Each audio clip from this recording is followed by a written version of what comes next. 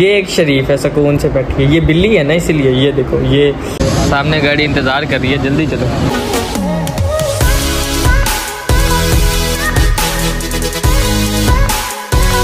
Aslam guys so finally we are back with another vlog अभी मज़ा आएगा ना, भिड़ो। तो जी, इतने दिन से व्लॉग नहीं आया, मैं ज़रा बिज़ी था। आप देख सकते हो, मैं वाकई बिज़ी था। मैंने दाढ़ी शाड़ी बाल शाल कुछ भी नहीं बनाया, मैं काफ़ी ज़्यादा बिज़ी था। अब फ़िलहाल आज जुम्मा है, सबसे पहले दाढ़ी शाड़ी बनवा लेते हैं। जुम्मे के लिए लेट ना हो जाए, रमज़ान का पहला जुम्मा इसलिए ना बिल्कुल टाइम पर पढ़ना है। तो सबसे पहले मैं जाता हूँ, दाढ़ी शाड़ी बनवाता हूँ। चेंज करके जुम्मा पढ़ने जा रहा हूँ, तभी अब रिकॉर्ड करूँगा। ओके जी, दाढ़ी शाड़ी मैंने बनवा ली थी, जुम्मा शुमा भी पढ़ लिया था। वो क्लिप पहले इसलिए नहीं रिकॉर्ड किया, क्योंकि मैं लेट हो गया था काफ़ी। जुम्मे के लिए काफ़ी लेट हो गया था। और आज मैं आपको पौधे भी दिखाता हूँ और एक स्पेशल गेस्ट भी दिखाता हूँ। तो जी, ये देखो, सुबह निकला था, ये फ्रेश था, लेकिन ना, एक मिनट फोकस हो जाए हाँ। ये देखो, ये ना सुबह निकला था और ये फ्रेश था। ये धूप की वजह से इसकी हालत ऐसी हो गई है। बाकी ये तीन भी निकले हुए थे, लेकिन इनकी हालत भी अब ऐसी ही हो चुकी है। बाकी ये देख लो, भर गया ना फिर फूलों से। इतने सारे फूल निकल आए हैं इस पर इस साइड पे भी निकल आए हैं। ये ऐसा ऐसा जाता जाता ना ये इस साइड पे हो जाएगा। जो स्पेशल गेस्ट है ना, वो ये है। ये आपको ना शेरू की तरह लग रही होगी, लेकिन ये शेरू नहीं है। ये है सकलैन की बिल्ली, गुस्से वाली है। ये देखो, क्या हुआ? ये जी गेस्ट आया हमारे पास। जी बात ऐसी है मुझे लग रहा है फुल टाइम रोज़ा। मैंने कहा टाइम गुजारने के लिए ना हम कोई ना नेक पाक नेटफ्लिक्स सीरीज़ देख लेते हैं। तो जी अब मैं जाने वाला हूँ असर की नमाज़ पढ़ने। आज बहुत ज़्यादा गर्मी है जिसकी वजह से बहुत ज़्यादा मुझे रोज़ा लगा है लेकिन खैर अब तो थोड़ा सा ही टाइम रह गया। पहले असर की नमाज़ पढ़ लेते हैं फिर आके इंतज़ार करते हैं कि कब होगी मगरब की अजान।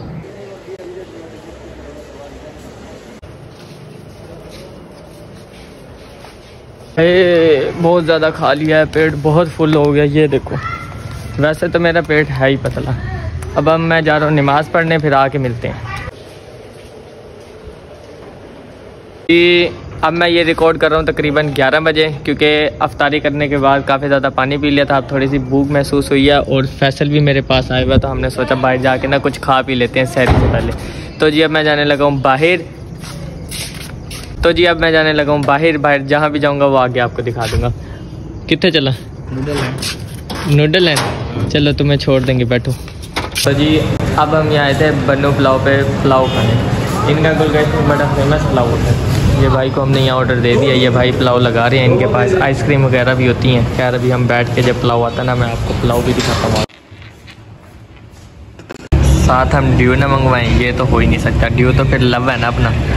और जी पुलाव शलाव तो मैंने खा लिया। मैं सोच रहा हूँ वापस घर जाऊँ या हैदर के पास। चलो देखते हैं।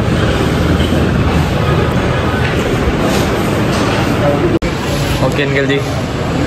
अल्लाह हाफिज़। सामने गाड़ी इंतज़ार कर रही है। जल्दी चलो।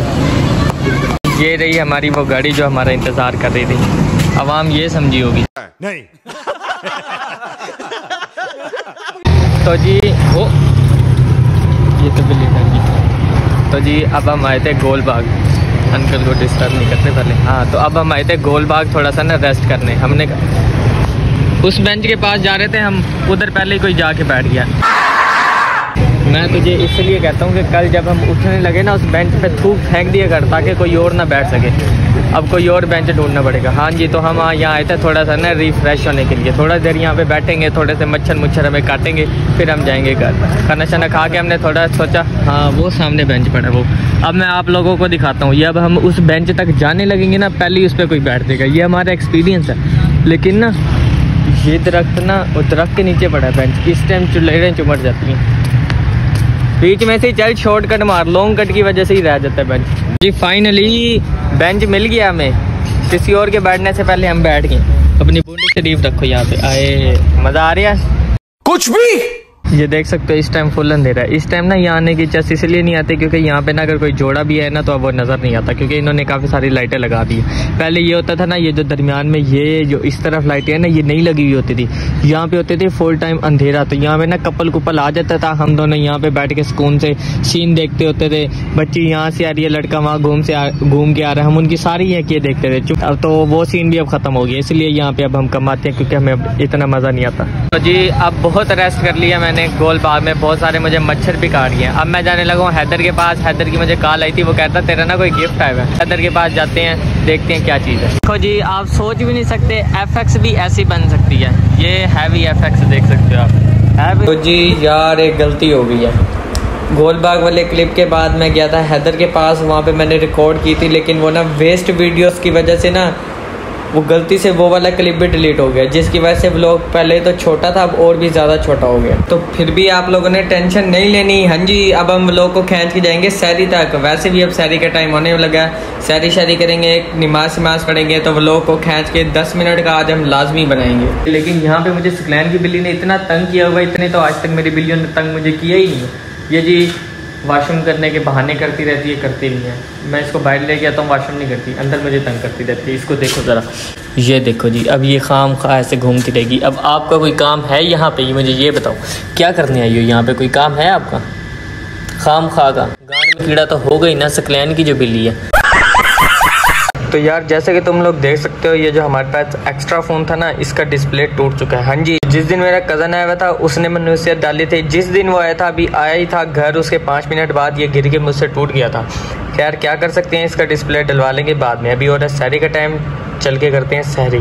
की शक्ल देख लो। ये पबजी खेलता रहेगा पूरी रात। जब शहरी में आधा घंटा या पंद्रह मिनट रहते होंगे तो सो जाएगा और इस टाइम यहूदियों वाली शक्ल बना के यहाँ पे बैठ जाएगा। आज हमारे पास शहरी में है, सालन में तोरी, रायता और ये है लस्सी। ये लस्सी पिंक पिंक इसलिए नज़र आ रही है क्योंकि इसके अंदर रूह अफ़ज़ा मिला हुआ है। ऐसी लस्सी आपको कहीं भी नहीं मिलेगी। हो सकता है घर में बाकी बनाता हूँ, लेकिन बाहर ऐसी नहीं मिलती। तो जी, इसमें हमारे पास पराठे हैं और इसके साथ दही। दही तो लाजमी होती है ना, दही के बगैर कोई सैरी नहीं होती। वैसे तो चाय के बगैर भी नहीं होती, लेकिन अभी मैं घर वालों को कहूँगा ना, वैसे ये सारे इंतज़ार में बैठे हैं। ये आप दिखा नहीं सकता, ये इर्द गिर्द सारे बैठे हैं इसी इंतज़ार में कि कब मैं रोकूँ और ये खाना स्टार्ट करें। तो जी शहरी शहरी हमने कर लिया, पानी दबा के पी लिया, आखिरी घूंट पीने लगो बस।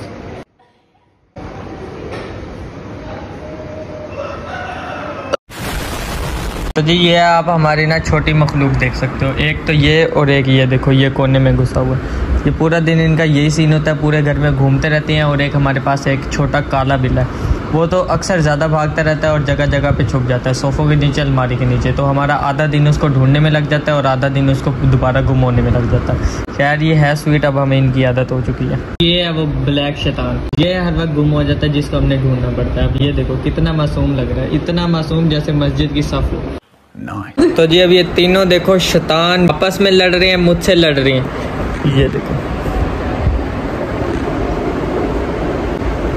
ये एक शरीफ है सुकून से बैठी है ये बिल्ली है ना इसीलिए ये देखो ये ये हरामी और ये तो मेरी शर्ट को चिपका हुआ तो वीट है ना?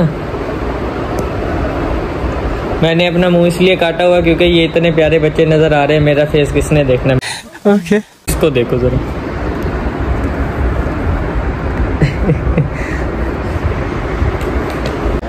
ये देखो जी ऐसे काम ही ना करो कि बाद में पछताना पड़े। गिर जाओगे।